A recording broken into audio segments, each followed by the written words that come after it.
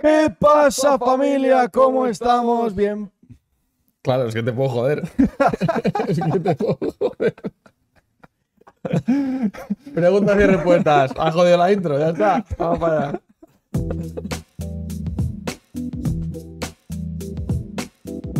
Hoy amigos es un día muy especial Feliz, en Drafteados cumpleaños feliz.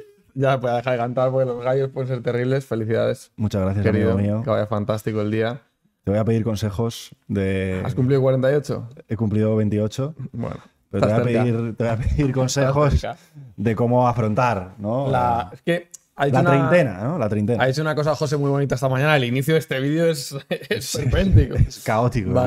Ha hecho una cosa, una cosa José muy bonita esta mañana que ha sido que le han empezado ya la avalancha de mensajes de estás muy cerca de los 30. ¿no? Sí.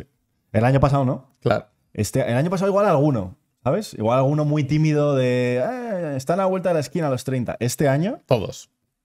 ha habido ya... o sea, sí, no La gran cuántos- mayoría, ¿no? La gran mayoría. La gente realmente digo es poco original, ¿sabes? Sí. O sea, habría que intentar buscar otra cosa, ¿no? Pero va más, claro, el año que viene, cuando cumpla 29, Bueno, ya... ahí todos, Felices claro. 30, van a decir directamente. Claro. Es bonito. claro, es bonito. Eh, gracias a todos por las felicitaciones que he visto ya por Instagram, por Twitter. Hay gente muy maja pendiente de esto, también porque lo dije yo ayer. Claro. Sí, evidentemente no Sí, se acuerda nadie. Eh, tenemos unas cuantas preguntas muy interesantes. Ay, Dios. Eh, y os recordamos que os podéis suscribir al canal, que nos podéis seguir en nuestras redes y que el domingo tenemos un eventazo en la plataforma morada. Os esperamos a todos, ¿eh? Muy importante que estemos todos en ese stream, 5 de la tarde. Yo me voy hoy a Zaragoza ya para ir preparándolo todo. Sí, si veis a Sergio Andrés por Zaragoza, es Sergio Andrés. Si veis Correcto. al Fideo por Logroño, es el Fideo. Correcto. Eh, correcto. aparte de esto, ¿qué iba a decir? Mm, No lo sé. Ah, que va a llover el domingo seguro.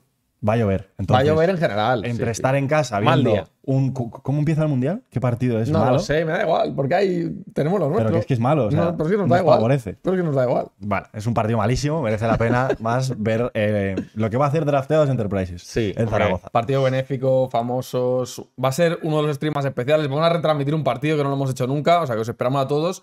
5 de la tarde el domingo, no os olvidéis. Nos reunimos ayer con Daimiel y con Guille para que nos den consejos de cómo retransmitir y tal. Algunos Estuvimos tips, ¿no? toda la tarde juntos. Pero vamos, seguro que vamos a hacer el ridículo, seguro. Hombre, claro. O sea que veniros que va a ser divertido. Sí.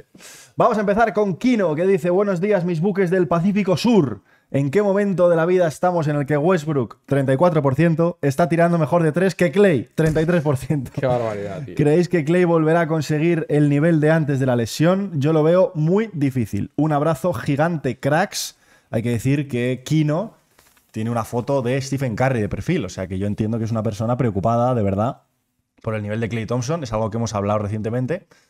Y claro, la comparación con Westbrook es tremenda, Sergio Andrés. Sí, estaba mirando, claro, se junta, claro, que, Clay está en el peor momento de tiro de su carrera, con que Westbrook está en el mejor. O sea, Westbrook solo tiene una temporada en toda su carrera en la que hizo 34 con 3 y está en 34 este año, o sea, está en el, en el pico de su carrera como triplista. Precioso, esto es precioso. Y, y Clay, claro, está en la. Está en la mierda, el pobre. O sea, es un desastre lo que Está está. mal, ahora mismo o sea, está ya dije el otro día en el podcast, además, que a mí me. O sea, es un jugador con el que sufro, tío. Es que es verdad esto. Sí, sí. Sufro con, con Clay. No me Pero bueno, eh, no me. O sea, precisamente porque es un tío que no va a dejar de tirar. O sea, va a seguir tirando todos los tiros que le vengan hasta que le entren. Va a haber un momento en el que va a enlazar 3, 4 partidos buenos en el tiro y va a subir otra vez al 38, 39, Sí. 40 y tantos, que es más su, su historia. Hay una cosa curiosa, que hemos cogido esta pregunta un poco también para comentar este asunto. Ah, bueno. que estábamos ayer mirando los favoritos para los premios, ¿no? Porque ya sabéis que nos gusta revisar esto de vez en cuando. Por cierto, eh, bueno, el primer cuarto de temporada todavía queda, ¿no? Para hacer los premios. Hombre, queda. Es, en el partido 20. Bueno, no queda tanto. No queda ¿eh? tanto, No ¿eh? queda tanto. Igual la semana que viene a finales se podría. Se puede hacer premios puede del hacer. primer cuarto. Pues si lo hiciéramos, igual habría que barajar la opción de dárselo al señor Russell Westbrook, el mejor sexto hombre. Ah, Porque ahora mismo está favorito de lejos en las apuestas. Sí, de hecho, el, el- el segundo favorito en las apuestas es Jordan Poole, que yo tampoco lo entiendo ahora mismo. No... Estaba actualizado eso, tío. Sí, tío, eh, imagino que sí. Eh, y tercero era, o sea, lo estuvimos mirando porque queríamos ver en qué puesto estaba Mathurin. Y está tercero. Está tercero, pero a muchísima distancia de los otros dos. O sea, los otros dos son como los claros favoritos este año para, para las casas de apuestas. En fin, eh, películas de ayer y de hoy. Ya Sí. está. Vamos a ir con una pregunta de Pedro Rabadán que nos pone en un aprieto, ya os lo digo. Hola buques del mar, tengo para vosotros unas preguntas rápidas. Vamos para allá. Estoy Atención. preparado. Estoy preparado. Desmond Bain o Jalen Branson. Desmond Bain. Qué jodi- jodidísimo que lo diga yo, pero. Shake o Sion. Shea, dirá. Entiendo. Shea. Shea. Shea o Sion. Eh, ahora mismo Shea. Como jugador de baloncesto, saber jugar a baloncesto, etcétera, Shea. Ostras, yo en general El igual potencial diría. de Sion te puede hacer decir Sion, pero ahora mismo es bastante más completo Shea. Sí. Lo que pasa es que Sion puede meter 35 puntos. Pero también, ¿eh? Pero Shea también. y 40. Nada, ahora mismo Shea es lo Sí. que hay. Eh, Barrett o Jordan Poole. Ninguno de los dos, pero ah, Barrett. Me quedo con Barrett porque para o sea, pa- Yo pa elegir, a- Poole, tío. o sea, para elegir a- al desastre de al lado elijo al mío. ¿Sabes lo que te digo? Bien. Pero. Yo me quedaría con Poole. Trey, Young o Donovan Mitchell. Donovan, Donovan Mitchell, tío. Donovan Mitchell. Westbrook o Ben Simmons. Ninguno de los dos, tío. Ninguno de los dos. Ahora mismo para tener en mi equipo. Igual a. A ninguno de los dos, tío. a ninguno de los dos. Vamos a seguir con Mario que dice: LeBron este año puede no ser All-Star. ¡Po! Atención, porque Vaya esto palo. es un asunto tremendo que teníamos muchas ganas de hablar con vosotros. Evidentemente, LeBron James ha sido All-Star desde que el mundo es mundo. O sea, la única temporada que no es All-Star es la primera. Es la primera. Cuando es rookie. Desde su de- después de su temporada rookie, todos, Todos los los años, años. ha sido All-Star, claro. ¿Y qué pasa? Que LeBron ha sido, evidentemente, si no me equivoco yo, capitán todos los años, ¿no? No ha habido nunca que haya sido No, no, ha sido Team todo. Curry versus Team Giannis. O sea, cuando fue Curry, fue Team Curry versus Team LeBron, ¿no? Entiendo yo. Es que no me acuerdo, tío, de esas cosas. Nunca, nunca me las quedo. Pero sí, han sido capitanes Giannis, Durant, LeBron. Y Curry, ¿no? No lo sé. ¿Carrera ha llegado a ser capitán? A mí me suena que Curry fue capitán un año, ¿no? Pues no lo sé. no lo pues, sé. No lo sé. Pero vamos, que ha estado siempre siendo capitán LeBron James, evidentemente. Sí. El Entonces- tema es. eh, la pregunta. O sea, hay varias preguntas aquí, ¿no? Sí.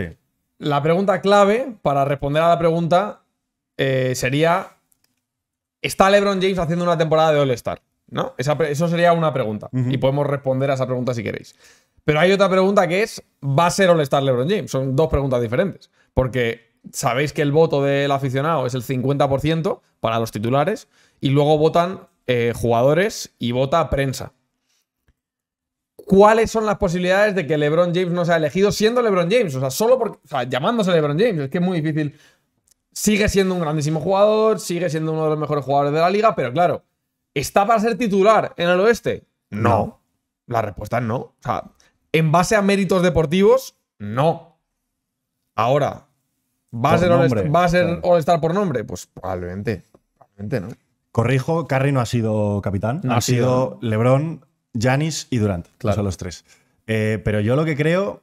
O sea, ya sabéis cómo funciona esto. O sea, titular tiene que ser porque le- la gente le va a votar. La Eso gente estamos le de va a acuerdo. votar, Le va a votar y va a ser de los más votados. como seguro, seguro. Ahora, ¿le votarán los periodistas y los jugadores? Puede que sea el año en el que es capitán Curry o Doncic, incluso. Podría ser.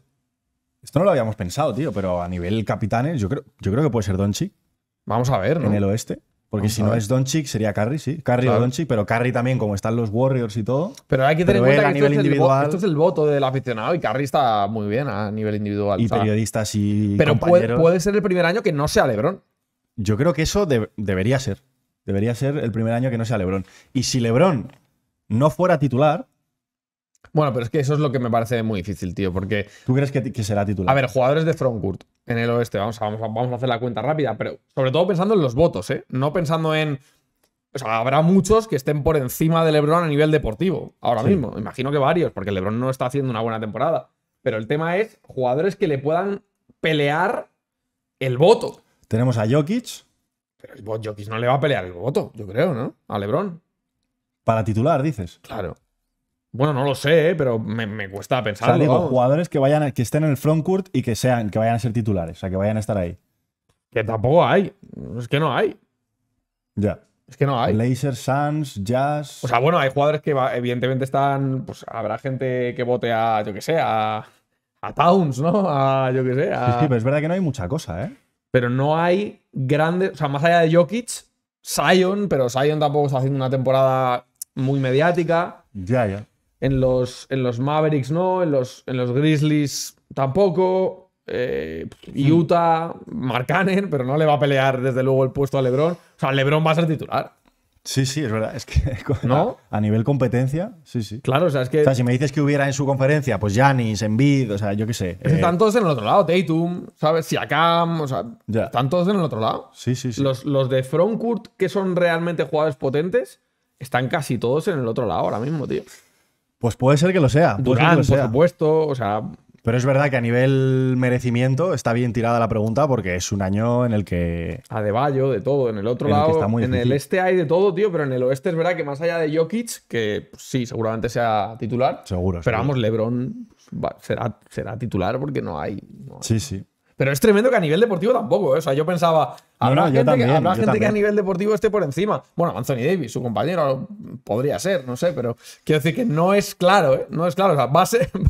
la respuesta final a esta pregunta es: ¿va a ser All-Star y va a ser titular? Bueno, y te digo una cosa. eh, cuando tengamos que votar a jugadores en el oeste, Sí, este sí. año, cuando hablábamos de que podía Paul debutar George, Jeremy ¿no? Grant. Paul George es frontcourt.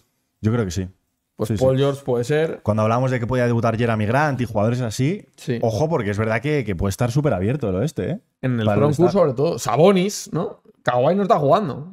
O sea, bueno, volvió ayer, pero. Es que hay muchas opciones, sí, sí. Hay Marcanen, o sea, va a haber opciones de que entre gente. De que entre hay, gente- pero- Bueno, y los wildcards van a ser todos exteriores, claro. Porque es que exteriores, ahí sí que te vuelves loco, claro. Sí, sí. Exteriores solo con, bueno, Doncic, Curry, serán los dos titulares, entiendo. Si y luego no- está por ahí si Lillard, está por ahí Booker, está por ahí Morant. gente, Morant. No, no, o sea, todos los de, de- todos los de frontcourt y luego los de Aaron Fox, Anthony Edwards, o sea, bueno, todos los que Shea, o sea, que cambien el formato, tío, que cambien el formato y que vayan todos guards, ¿no? En el este. Sí, sí. O sea, en el oeste, perdón, porque, o sea, guards va a haber para que vayan ocho. Sí, sí. Fácil.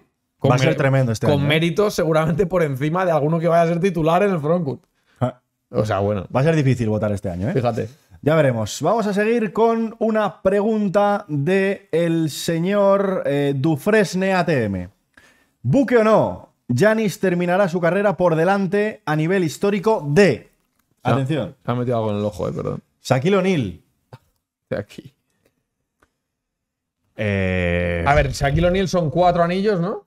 Los tres de los Lakers con el dominio aquel brutal durante aquellos Y un años. MVP. tal, un MVP, luego el anillo en, en Miami. o sea, esto sería que Janis acabe top 10 de la historia. Porque Difícil. está en el top 10. Difí- o sea, puede pasar, pero difícil. Yo lo veo complicado. yo no, yo no. O sea, no diría ahora que seguro que sí. Yo tampoco. Yo Vamos, a, vería más vamos a ver. Kobe, lo mismo. A Kobe ni de coña. Tim Aunque es solo Duncan, un MVP, ¿eh? pero Kobe son cinco anillos, tío. Tim Duncan, lo mismo. Tampoco. Tim Duncan son cua- cinco anillos también. Son cinco anillos, son dos MVPs también. Dos MVP. Bueno, los dos MVP ya los tiene. Sí, Pero hay que ganar, tío. hay que ganar, O sea, es que estos son top, top. Iverson, sí. Iverson O sea, sí. Iverson está ya por encima.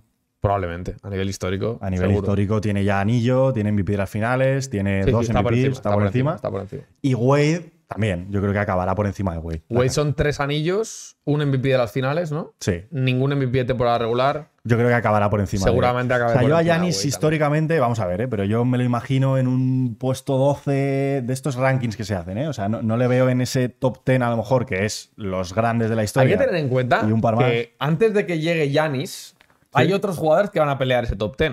O sea, está, lo hemos hablado con Curry mucho Mm. en los últimos años. Eh, lo hablaremos con Durant, que son los jugadores que están ahí, ¿no? Que estaban en los. Cuando hacíamos tops, estaban en el 11, en el 12. eh, por ahí, Curry ya entrando prácticamente en el top 10. eh, seguro que está dentro del top 10. Eh, o sea, antes de que Yanis pueda pelear esa entrada, van a entrar estos jugadores. Sí, va a haber sí. que peleársela luego a estos jugadores. Claro. O sea, seguramente O'Neill, por ejemplo, va a caer al 12, ¿no? Y vas a empezar a pelear en el 12 con O'Neill. Sí, sí, o sea, que es que esto no para de. Es de una generación claro. complicada, ¿eh? Sí, sí. Sí, bueno, y bueno, evidentemente LeBron está mucho, mucho más arriba Sí. en todos los top. Vamos a ir con Jesús. Sergio, esto va directo a ti. Visto lo visto, ¿cambiarías de opinión en aquello que dijiste de si hay que meter a Barrett en la ecuación para traer a Mitchell? Prefiero que no se haga el traspaso. Postdata, un honor cumplir el mismo día que el Noodle Logroñés. Jesús, pues muchas felicidades, qué bonito. De un Jesús a un José, ¿no? Unas felicidades. De una J a una J, ¿no? No, y es eh, bíblico, ¿no? De un Jesús a No, no, José, Sí, sí, sí. ¿no? De un hijo a un padre, ¿no? ¿O no? Lo que tú quieras, tío, lo que tú quieras. Eh, felicidades, tío. Y vaya pregunta más, eh, Fuera de chun- lugar. más chunga. Eh, a ver, Ojo, es interesante esto. A ver, sí. Yo creo que hay un problema, tío, en. O sea, que ha habido un problema en Nueva York, claro, de elección de. O sea, de estatus de, jugadores, ¿no? O sea, Sí. no. Yo creo que seguramente tenga que ver algo con el fatal inicio de temporada de, de Barrett. Eh, o sea, se ha renovado al jugador, pero a la vez se ha traído a, se ha traído a Branson. Y hay un poco. O sea, se, se pierde un poco entre Branson, Randall. eh, o sea, como. eh, ¿Cuál es el sitio de Barrett? O sea, Barrett es el. Al principio de temporada, según venía de la temporada pasada, del final de la temporada pasada, se podía pensar que a lo mejor iba a ser el 1. Pero la realidad es que está siendo el 3. Como mucho. Ahora mismo. Entonces, yo creo que hay ahí, o sea, entre eso, y que no es un jugador que haya demostrado eh, especialmente eh, un carácter regular, que le.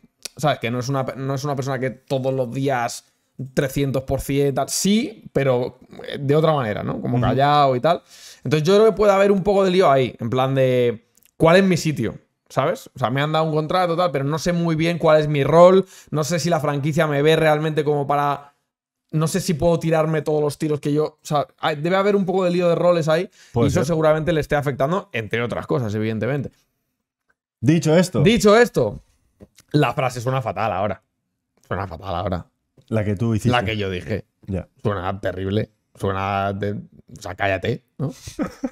Es que con estas cosas es complicado. Sí, pero claro, se dice en un momento, pues la, la- la pregunta de la temporada pasada era en un momento en el que Barret no paraba de crecer, estaba haciendo partidos de 30 puntos eh, con mucha facilidad. eh, en el otro lado, Donovan Mitchell estaba que si movidas defensivas, que si movidas de equipo, que si tal. Y ahora está Donovan Mitchell, todo lo contrario, o sea, saliéndose superestrella, talento absoluto, Cleveland, tal para arriba. Y Barrett está en el peor momento de igual de los últimos tres años.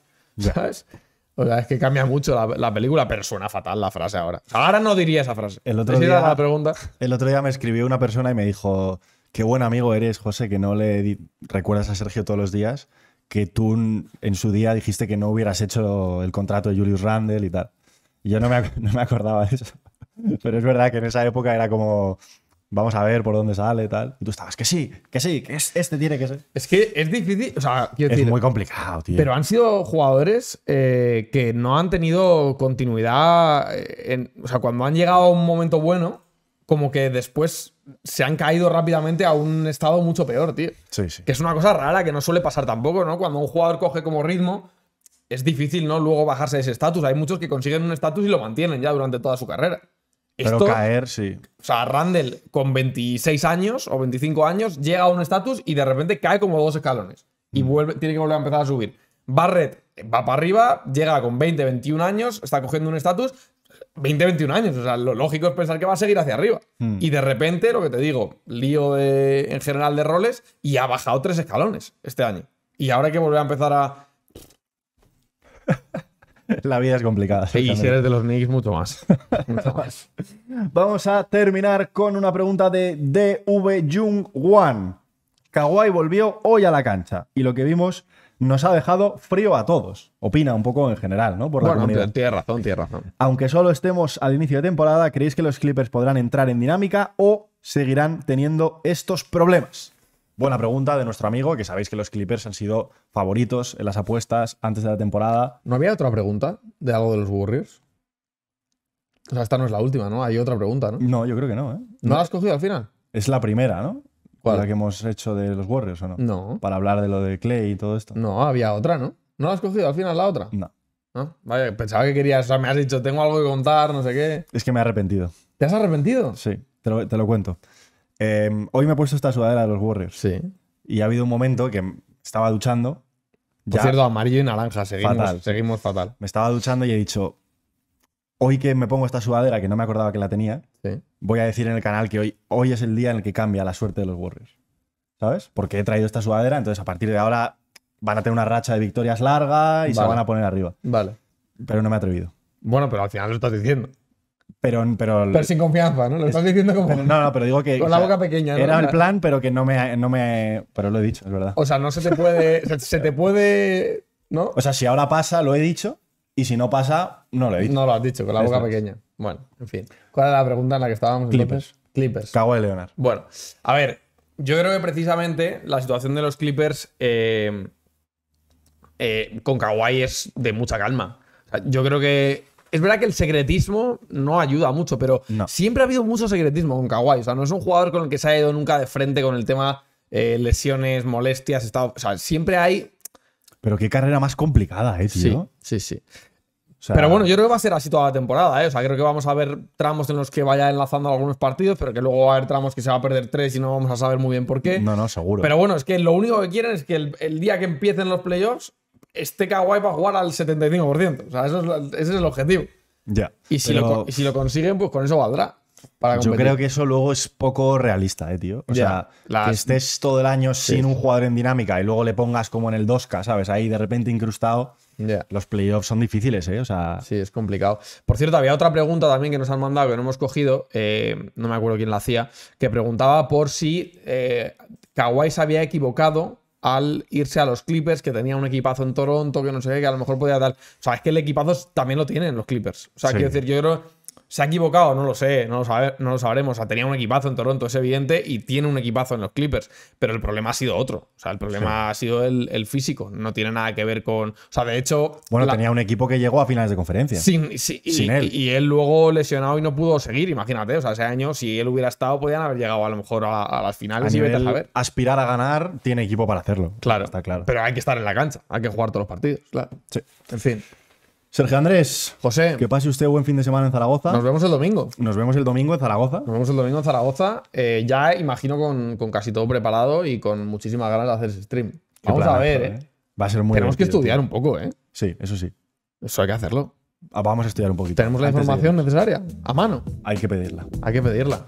Bueno, Amigos, os esperamos a todos. todos. Os queremos mucho. Chao. Chao.